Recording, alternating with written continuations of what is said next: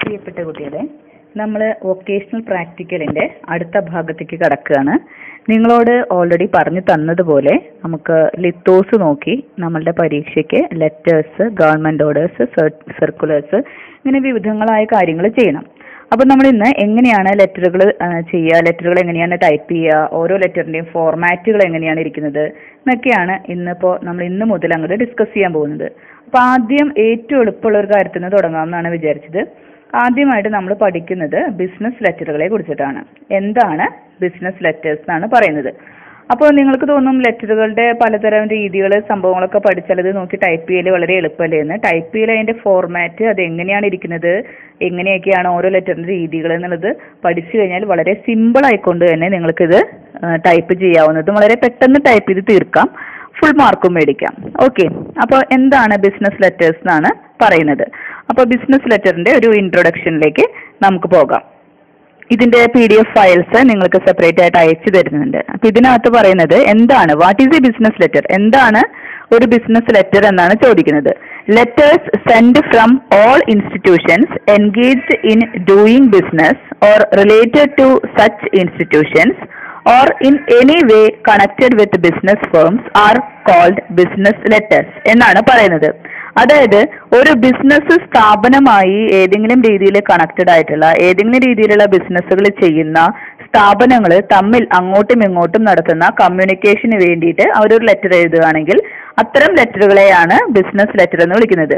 അപ്പോൾ ബിസിനസ് സ്ഥാപനമാണ് അവിടുത്തെ പ്രധാനപ്പെട്ട കാര്യം നമ്മൾ ശ്രദ്ധിക്കേണ്ടത്. രണ്ടാമത്തെ കാര്യം എന്ന് പറയുന്നത് all letters issued from manufacturing concerns, shops, business agents, banks, or any institution running any kind of business are business letters or commercial letter ഏതെങ്കിലും തരത്തിലുള്ള ബിസിനസ് സ്ഥാപനം ആയിക്കോട്ടെ മാനുഫാക്ചറിംഗ് ഫേമോ ഷോപ്പോ അല്ലെങ്കിൽ ബിസിനസിന്റെ ഒരു ഏജന്റ് മറ്റൊരാൾക്ക് അയക്കുന്ന ലെറ്ററോ അല്ലെങ്കിൽ ഒരു ബിസിനസ് സ്ഥാപനത്തിൽ നിന്ന് ഒരു ബാങ്കിലേക്ക് അയക്കുന്ന ലെറ്ററോ അങ്ങനെ ഏത് ടൈപ്പ് ഇൻസ്റ്റിറ്റ്യൂഷൻ ബിസിനസ് ചെയ്യുന്ന ആളുകളായാൽ മതി അവരയക്കുന്ന ലെറ്റേഴ്സിന് അല്ലെങ്കിൽ അങ്ങനെയുള്ള ലെറ്റേഴ്സിനെയാണ് ബിസിനസ് ലെറ്റേഴ്സ് അല്ലെങ്കിൽ കമേഴ്ഷ്യൽ ലെറ്റർ എന്ന് പറയുന്നത്.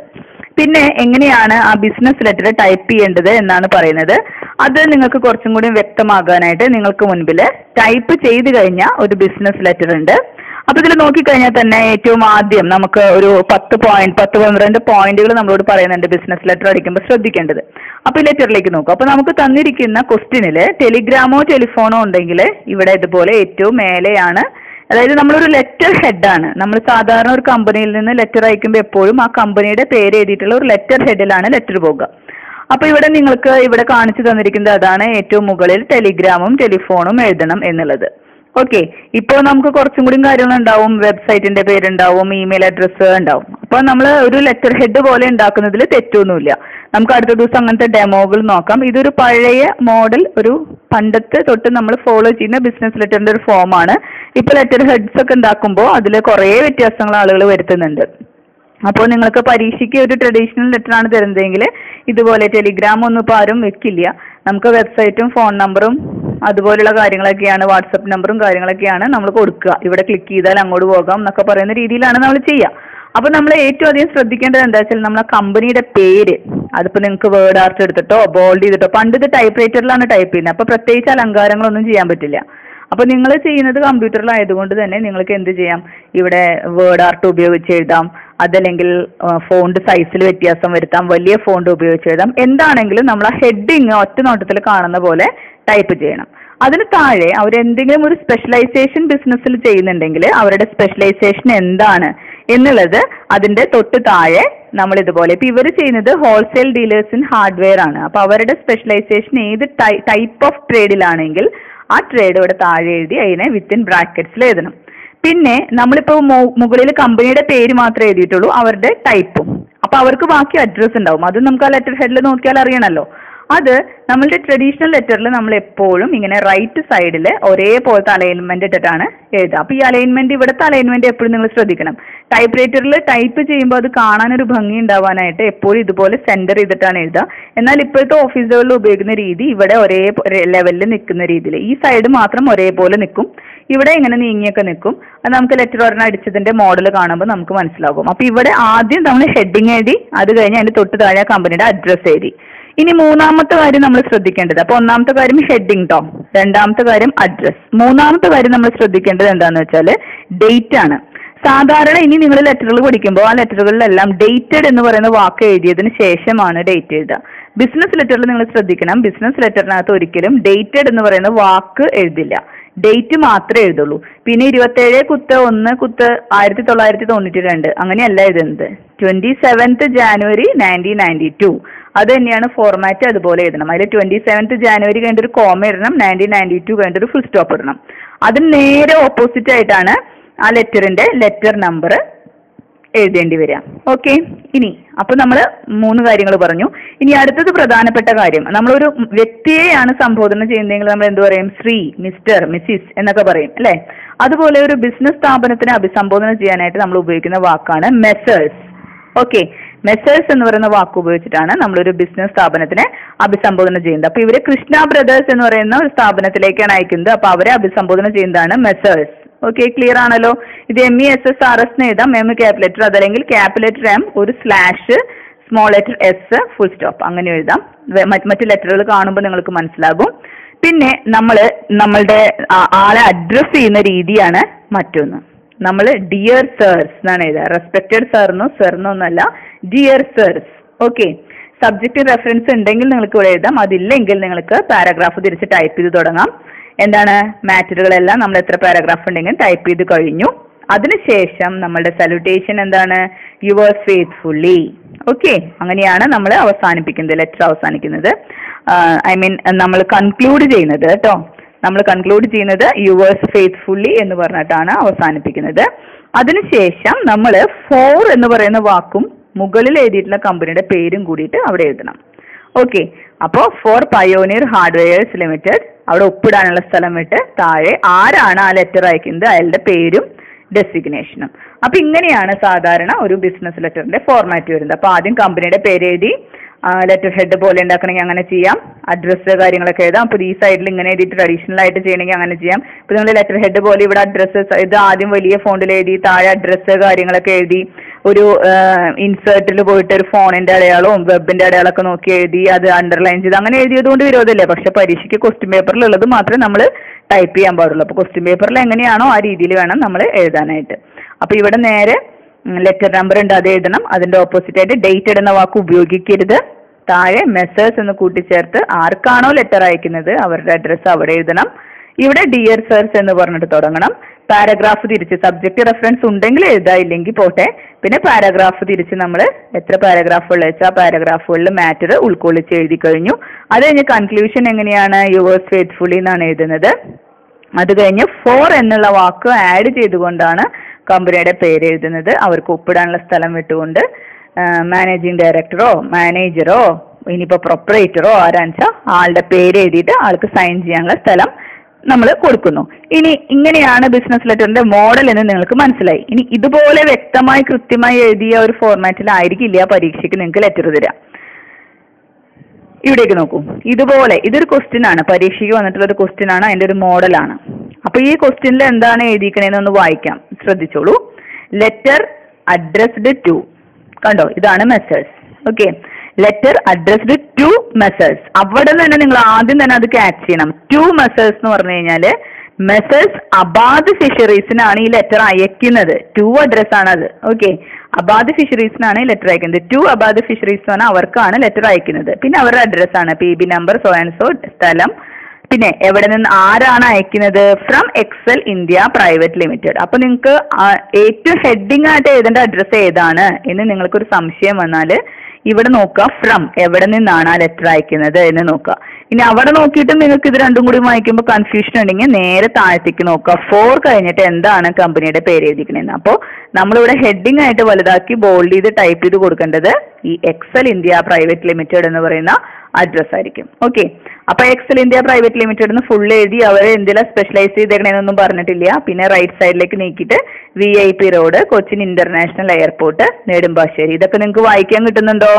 ഇതൊക്കെ വായിക്കണം കേട്ടോ. ഒരു കുറച്ച് ലെറ്ററുകൾ ഇതുപോലെ വായിച്ച് എഴുതുമ്പോഴേ ഒരു ലെറ്റർ കണ്ടാൽ അതിൽ ഈവൻ സ്പെല്ലിംഗ് ഇല്ലെങ്കിലും ഒന്നോ രണ്ടോ അക്ഷരങ്ങളെ ഇല്ലെങ്കിലും നമുക്ക് ആ ലെറ്റർ കൂട്ടി വായിക്കാൻ പറ്റണമെങ്കിൽ നമ്മളിങ്ങനെ ഒരുപാട് ലിസ്റ്റോ വായിച്ച് പഠിക്കണം. ഓക്കെ അപ്പോൾ എക്സൽ ഇന്ത്യ പ്രൈവറ്റ് ലിമിറ്റഡ് എന്ന് മേലെ വലുതാക്കി എഴുതി V I P Road Cochin International Airport Nedumbassery Cochin. പിന്നെ പിൻകോഡ് അടിക്കുമ്പോൾ ഒരു കാര്യം ശ്രദ്ധിക്കണം. ആദ്യത്തെ മൂന്ന് ഡിജിറ്റ് കഴിഞ്ഞ് ഒരു സ്പേസ് വിടണം. അത് കഴിഞ്ഞിട്ടാണ് പിന്നത്തെ മൂന്ന് ഡിജിറ്റ് പിന്നെ ഫുൾ സ്റ്റോപ്പ് ഓക്കെ അപ്പൊ അഡ്രസ്സ് എഴുതി. അഡ്രസ്സ് അവസാനിച്ച് കഴിയുമ്പോൾ വലത്തെ സൈഡിൽ ലെറ്റർ നമ്പറും ഐ മീൻ ഇടത്തെ സൈഡിൽ ലെറ്റർ നമ്പറും വലത്തെ സൈഡിൽ ഡേറ്റും എഴുതി. ഈ സൈഡിൽ ലെറ്റർ നമ്പർ ഈ സൈഡിൽ ഡേറ്റ് ഓക്കെ അപ്പൊ ലെറ്റർ നമ്പർ എന്ത് ഇ ഐ പി എൽ രണ്ട് രണ്ട് അഞ്ച് പൂജ്യം പൂജ്യം രണ്ട്. ഓക്കെ ഡേറ്റഡ് എങ്ങനെ എഴുതണം? ഡേറ്റഡിന് എഴുതാൻ പാടില്ല. Eleventh July two thousand two അങ്ങനെയാണ് ഡേറ്റഡ് ടൈപ്പ് ഓക്കെ അപ്പൊ അത്രയും ഭാഗം കഴിഞ്ഞു നമ്മൾ ഹെഡിങ്ങിന്റെ ഭാഗം. ഇനി നമ്മൾ ആളെ അഡ്രസ്സ് ചെയ്ത് ആൾക്ക് വേണ്ടി ആളുടെ പേര് എഴുതുന്നതാണ്. To address എഴുതുന്നതാണ്. അപ്പൊ ഒരു കാര്യം ശ്രദ്ധിക്കണം. ഇനിയുള്ള വരുന്ന ലെറ്ററുകളിലൊക്കെ നമ്മൾ ഫ്രം ടു എന്ന് എഴുതും. ബിസിനസ് ലെറ്ററിൽ ഒരിക്കലും ഫ്രം ടു എന്ന് എഴുതരുത്. ബിസിനസ് ലെറ്ററിൽ ഹെഡിങ് എഴുതുന്നു. ഏറ്റവും മേലെ എന്ന് പറയുന്നതാണ് വലിയൊരു പ്രത്യേകത. ഡേറ്റ് എന്ന് എഴുതാതെ ഡേറ്റ് അടിക്കുന്നു അത് മറ്റൊരു വലിയ പ്രത്യേകത. മൂന്നാമത്തെ കാര്യം പറഞ്ഞത് എന്താണ്? നമ്മൾ ഒരു കാരണവശാലും ടു എന്ന് ടൈപ്പ് ചെയ്യരുത്. ടു എന്ന് ടൈപ്പ് ചെയ്യാതെയാണ് നമ്മൾ ആർക്കാണ് ലെറ്റർ എന്നുള്ളത് എഴുതുന്നത്. അപ്പൊ അവിടെ എന്താണ്? Messrs Abad Fisheries P B number Cochin two അവരുടെ അഡ്രസ് എഴുതി.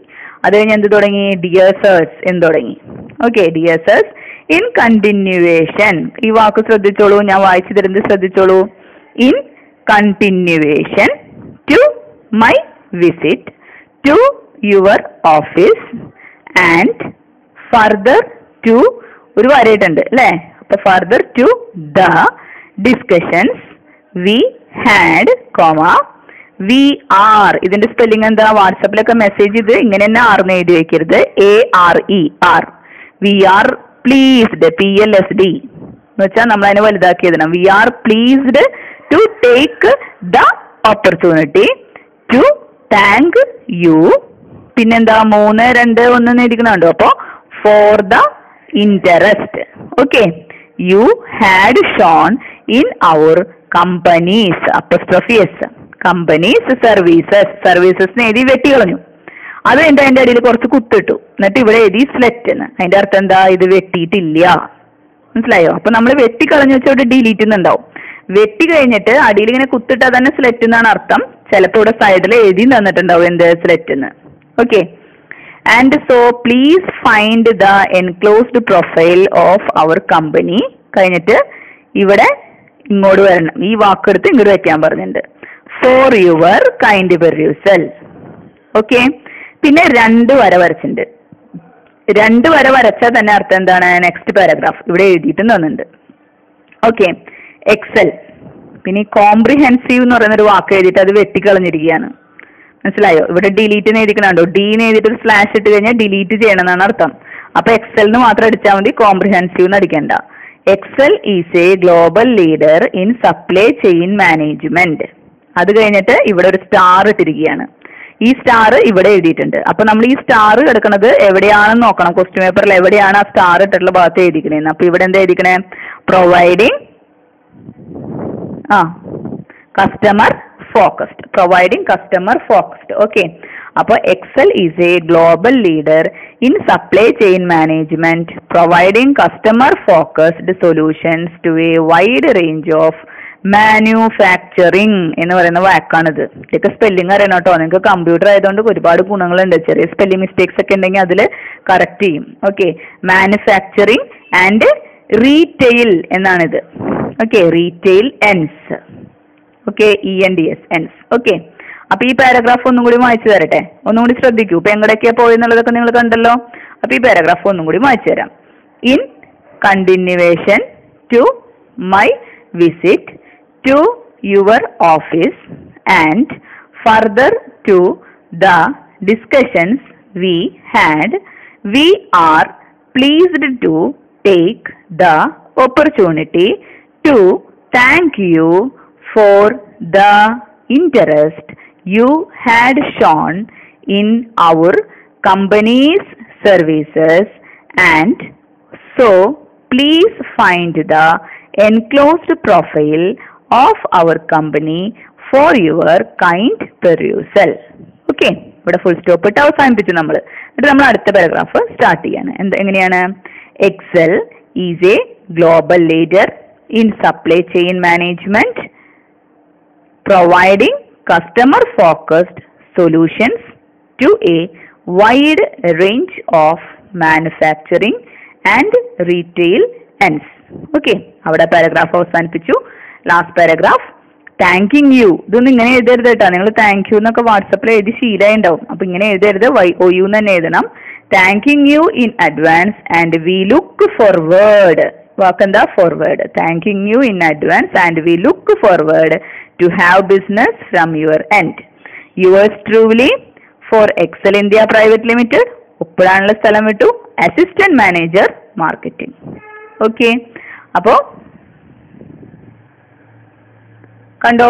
എക്സൽ ഇന്ത്യ പ്രൈവറ്റ് ലിമിറ്റഡിനെ സിമ്പിൾ ആയിട്ട് ഒരു ലെറ്റർ ആക്കി മാറ്റിയിരിക്കുകയാണ്. കണ്ടല്ലോ? അപ്പൊ ഇതിൽ നിങ്ങൾക്ക് എന്ത് ഭംഗി വേണമെങ്കിലും വരുത്താം. ഇവിടെ വേണമെങ്കിൽ നമുക്ക് വേർഡ് ആർട്ടൊക്കെ ഉപയോഗിക്കാം. ഇത് വളരെ സിമ്പിൾ ആയിട്ട് പെട്ടെന്ന് ടൈപ്പ് ചെയ്തെടുത്തൊരു ലെറ്റർ ആണ്. ബിസിനസ് ലെറ്റർ ഓക്കെ ഇനി മറ്റൊരു ബിസിനസ് ലെറ്റർ കണ്ടോ? ആ ഹാൻഡ് റൈറ്റിംഗിൽ നിന്ന് എക്സ്ട്രീംലി ഡിഫറെന്റ് അല്ലേ? അപ്പൊ നമുക്ക് പരീക്ഷയ്ക്ക് ഇന്ന പോലത്തെ ഹാൻഡ് റൈറ്റിംഗ് വരാൻ പറ്റുള്ളൂ എന്ന് പറയാൻ പറ്റുമോ ഇല്ല. ഓക്കെ അപ്പൊ ഇതിൽ പറയുന്നത് എങ്ങനെയാണ്? ഫ്രം അഡ്രസ് നമുക്ക് എവിടെ നിന്നാണ് ആരാണ് ഈ ലെറ്റർ അയക്കുന്നത് എന്നുള്ളത് കണ്ടാൽ മാത്രമേ നമുക്ക് എന്ത് എഴുതാൻ പറ്റുള്ളൂ? നമുക്ക് ഇവിടെ ആദ്യം തന്നെ ഹെഡ്രിങ് എഴുതാൻ പറ്റുള്ളൂ. അപ്പൊ ഇത് ആദ്യം തന്നെ അവർ പറയുന്നുണ്ട് കെ എ സി എക്യുപ്മെന്റിലേക്കാണ് അയക്കുന്നത്. To K A C equipment കണ്ടോ? അപ്പൊ ആദ്യം നമുക്ക് ഇവരെ വിടാം. കെ എ സി എക്യുപ്മെന്റിനെ വിട്ടു. പിന്നെ കാണുന്നത് ദേ ഇവിടെ ഫ്രം എഴുതിയിട്ടുണ്ട് കണ്ടോ? ഫ്രം സെൻട്രൽ മാർക്കറ്റിംഗ് എന്റർപ്രൈസസ് മനസ്സിലായല്ലോ? കോർട്ട് റോഡ് കാലിക്കറ്റ് അപ്പൊ നമുക്ക് ഏറ്റവും തന്നെ നമ്മുടെ ഹെഡിങ് ആയിട്ട് എന്ത് എഴുതണം? സെൻട്രൽ മാർക്കറ്റിംഗ് എന്റർപ്രൈസസ് എന്ന് ഹെഡിങ് എഴുതി. അത് കഴിഞ്ഞ് വലതുഭാഗത്ത് നമ്മൾ അഡ്രസ്സിൽ കോസ്റ്റ് റോഡ് കാലിക്കറ്റ് എന്ന് എഴുതി. അത്ര എഴുതി. അത് കഴിഞ്ഞ് ഈ സൈഡിൽ നിന്ന് എന്ത് എഴുതി തുടങ്ങണം? ലെറ്ററിന്റെ നമ്പർ എഴുതി തുടങ്ങണം. കണ്ടോ നമ്പർ തന്നിരിക്കുന്ന? ഈ നമ്പർ ഇവിടെ അങ്ങ് നീളത്തിൽ ടൈപ്പ് ചെയ്തു. ഇവിടെ ഡേറ്റ് എന്ന് എഴുതാതെ twenty seventh January two thousand four എന്ന് ഡേറ്റ് എഴുതി. ഓക്കെ അപ്പൊ അത്രയും ഭാഗം കഴിഞ്ഞു. അത് കഴിഞ്ഞ് നമ്മൾ എന്ത് അടിക്കണം? ടു അഡ്രസ് അടിക്കണം. ടൂന്ന് എഴുതാൻ പാടുമോ ടൂന്ന് എഴുതാൻ പാടില്ല. ടൂന്ന് എഴുതാതെ ടു അഡ്രസ് അടിക്കും. നമുക്ക് messrs K A C equipment company to ബാങ്കോ road Kavundampalayam Coimbatore. Okay അപ്പൊ അത്രയും അഡ്രസ് നമ്മൾ ടൈപ്പ് ചെയ്തു. ഡിയർ സേഴ്സ് ലെറ്ററിലേക്ക് പോവാണ്. Thank you for your letter of twentieth March we are very sorry to inform that your consignment as ordered in your last letter is still not ready for dispatch due to financial stringency.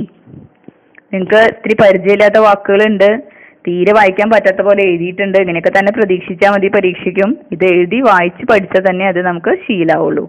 അപ്പൊ എങ്ങനെ എഴുതുന്നത് thank you for your letter of twentieth March we are very sorry to inform that your consignment as ordered in your last letter is still not ready for despatch due to financial stringency അവിടെ full stop ഇട്ടു ആ paragraph കഴിഞ്ഞു.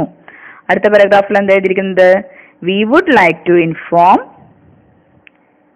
if you could kindly send us an advance amount it will be more convenient to us വാക്കുകൾ ശ്രദ്ധിച്ചോളൂ കേട്ടോ we would like to inform if you could kindly send us an advance amount കോമയുണ്ട് ഇവിടെ it will be more convenient to us കണ്ടോ? നമ്മൾ അതിൽ നിന്ന് അർത്ഥം മനസ്സിലാക്കി വാക്കുകൾ കൃത്യമായിട്ട് എഴുതണം. അത് കൃത്യമായിട്ട് അങ്ങ് ആ ഫോർമാറ്റിൽ ടൈപ്പ് ചെയ്ത് വെച്ച ഫുൾ മാർക്കാണ് പക്ഷെ നമ്മളത് വായിച്ചെടുക്കാൻ പഠിക്കണം. ഓക്കെ രണ്ട് മൂന്ന് ലെറ്ററുകൾ എഴുതി കഴിയുമ്പോൾ നിങ്ങൾ ഓക്കെ ആവും. Thanking you and expecting your kind thanking you and expecting your kind okay അതിന്റെ ഇവിടെ എന്താ ഇരിക്കുന്നത്? ക്യാപ്സ് അപ്പൊ എന്ത് വേണം? ഇത്രയും ഭാഗം ക്യാപിറ്റൽ ലെറ്ററിൽ അടിക്കണം. ഓക്കെ ഇനി ഇവിടെ എന്താ ഇരിക്കണേ? യുവേഴ്സ് ഫേത്ത്ഫുള്ളി ഫോർ എന്ന് എഴുതിയിട്ടൊരു വരയിട്ടുണ്ട് അപ്പോ നമ്മളെ പറ്റിച്ചു അവർ. നമ്മൾ അല്ലെങ്കിൽ ഫോറിൽ നോക്കിയിട്ട് ഏതാ കമ്പനി എന്ന് കണ്ടുപിടിക്കാൻ ഇരിക്കുകയായിരുന്നു അപ്പൊ അത് ഇതിൽ കണ്ടുപിടിക്കാൻ പറ്റിയില്ല. ഫോറിന് എഴുതി കഴിഞ്ഞിട്ട് പിന്നെ എന്ത് വേണം? നമ്മൾ ഇവിടുത്തെ പേര് എഴുതണം കമ്പനിയുടെ central marketing enterprises yours faithfully for central marketing enterprises marketing manager okay അപ്പോ അതിനെ ഒരു ലെറ്റർ ആക്കി മാറ്റിയിരിക്കുകയാണ്. കണ്ടല്ലോ? അപ്പൊ നമ്മൾ ബിസിനസ് ലെറ്റേഴ്സ് എന്താണെന്നാണ് ആദ്യം പറഞ്ഞത്? അതിനുശേഷം ഒരു ബിസിനസ് ലെറ്റർ എങ്ങനെ ഇരിക്കുന്നു എന്ന് കണ്ടു. അതിനുശേഷം ഒരു ബിസിനസ് ലെറ്റർ വായിച്ചു. അതിനെ ടൈപ്പ് ചെയ്ത് കണ്ടു. അടുത്ത ബിസിനസ് ലെറ്റർ വായിച്ചു.